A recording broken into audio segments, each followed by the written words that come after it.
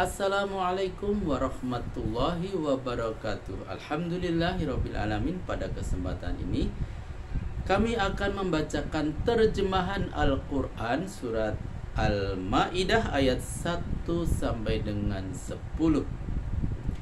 Aku berlindung kepada Allah dari godaan syaitan yang terkutuk Dengan menyebut nama Allah yang maha pengasih dan maha penyayang Hai orang-orang yang beriman, tepatilah semua janjimu. Dihalalkan bagi kamu binatang ternak untuk dimakan dagingnya. Selain itu, yang akan dibacakan kepadamu larangannya. Hal itu tidak berarti menghalalkan berburu ketika kamu sedang mengerjakan ibadah haji Sesungguhnya Allah memerintahkan menurut apa yang dikehendakinya. Catatan tiga macam janji. Satu, janji antara manusia dengan Tuhan dan sebaliknya. Yang kedua, janji manusia terhadap dirinya sendiri. Yang ketiga, janji manusia terhadap sesamanya. Hai orang-orang yang beriman, janganlah kamu nodai lambang-lambang kesucian agama dan jangan berperang pada bulan-bulan haram. Jangan pula mengganggu binatang-binatang had hadiah. Jangan pula binatang korban yang diberi kalung dan jangan pula orang-orang yang sengaja datang mengunjungi rumah suci Ka'bah untuk mencari karunia dan kerelaan Tuhan. Kalau kamu sudah selesai mengerjakan ibadah haji, boleh berburu dan jangan pula merasa dendam terhadap sesuatu kaum karena mereka pernah menghalang-halangimu dari Masjidil Haram sampai melibatkanmu untuk menindak mereka. Namun tolong menolonglah kamu dalam mengerjakan kebajikan dan takwa dan jangan tolong menolong dalam berbuat dosa dan pelanggaran. Dan bertakwalah kamu kepada Allah sesungguhnya Allah amat keras siksaannya. Catatan. Maksudnya ialah tempat-tempat dan benda-benda suci yang berkaitan dengan peribadatan kepada Tuhan. Yang kedua, misalnya unta, kambing dan biri-biri yang dihadiahkan kepada Ka'bah untuk mendekatkan diri kepada Allah.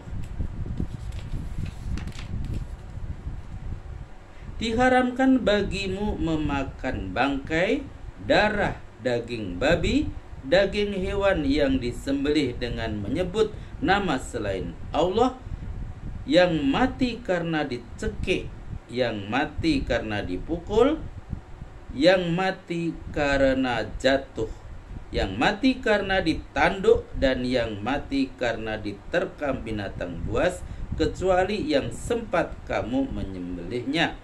Dan diharamkan juga bagimu yang disembelih dengan tata cara keberhalaan dan daging sembelihan yang pembagiannya ditentukan dengan undian anak panah. Perbuatan yang demikian itu adalah kefasikan. Pada hari itu, orang-orang kafir telah putus asa untuk mengalahkan agamamu. Sebab itu, janganlah kamu tuka, janganlah kamu takut kepada mereka, tetapi takutlah kepadaku. Pada hari ini, telah ku sempurnakan agama pada hari ini telah ku sempurnakan untukmu agamamu dan telah ku cukupkan kepadamu nikmatku. Dan aku telah rela Islam itu jadi agamamu. Dan barang siapa yang terpaksa karena kelaparan dengan tidak cenderung berbuat dosa tidak mengapa. Sesungguhnya Allah Maha Pengampun dan Maha Penyayang. Catatan Al-Azlam, anak panah ialah kayu yang berbentuk anak panah tanpa mata dan bulu. Oleh orang Arab jahiliyah digunakan sebagai alat untuk mengundi apakah maksudnya boleh dilakukan atau tidak. Cara undiannya ialah menggunakan tiga batang anak panah masing-masing batang bertuliskan kerjakanlah. Jangan kerjakan sedang sebatang lagi tanpa tulisan apa-apa.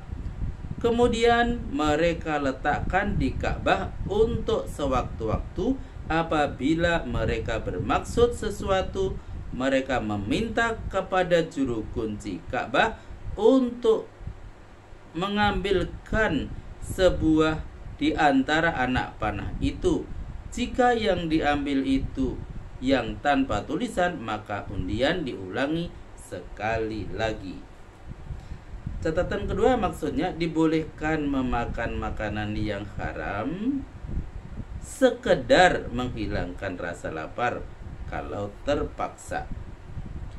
Mereka bertanya kepadamu, makanan apakah yang dihalalkan bagi mereka? Jawablah, makanan yang dihalalkan bagimu ialah makanan yang baik-baik dan hasil buruan yang ditangkap oleh binatang yang sudah terlatih begitu rupa yang telah kamu latih dengan cara yang telah diajarkan Allah kepadamu. Maka makanlah apa yang ditangkapnya untukmu serta sebutlah nama Allah sewaktu mengerahkan binatang itu. Namun bertakwalah kepada Allah. Sesungguhnya Allah sangat cepat perhitungannya. Catatan makanan yang dibolehkan memakannya oleh syariat Islam dan tidak berbahaya terhadap kesehatan pada hari ini kuhalalkan bagimu makanan yang baik-baik. Makanan orang-orang yang diberi Alkitab itu halal bagimu. Sebaliknya, makanan kamu pun halal pula bagi mereka. Dan dihalalkan juga bagimu mengawini wanita-wanita merdeka yang beriman dan wanita-wanita merdeka di antara orang-orang yang diberi Alkitab sebelummu. Bila kamu telah membayar mas kawin mereka dengan maksud menikahinya tidak dengan maksud berzina dan tidak pula untuk dijadikan gundih barang siapa yang mengingkari hukum-hukum syariat Islam sesudah ia beriman maka hapuslah pahala amalnya. Bahkan di akhirat ia termasuk orang-orang yang merugi.